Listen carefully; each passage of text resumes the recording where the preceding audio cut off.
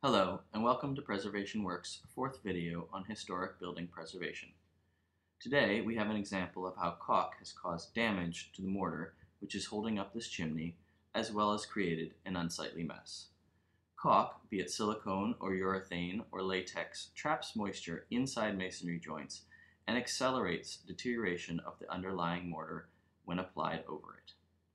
This is counterintuitive to some people, since the reason for using caulk is to keep water out of the masonry wall. But in natural masonry, like stone or brick, the masonry is inherently absorbent and vapor permeable. The masonry absorbs water during rain and then releases it the water later. Bricks are made of clay which absorb moisture from the air in humid weather and then release it out through the mortar as well as the face of the brick.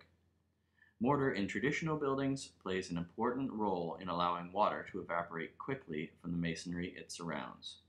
If caulk is over the mortar, then water is trapped in the mortar, and over a short period of time, the mortar will deteriorate. As we remove this caulk, you can see the severe deterioration of the mortar behind it.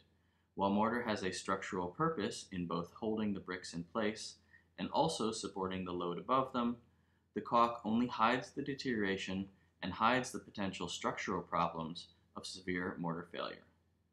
The process of repointing is simple. It involves repair of, with a material similar to the original.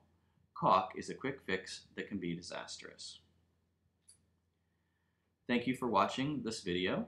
If you are interested in having work done on your historic building, or if you have questions, please feel free to email us or visit our website.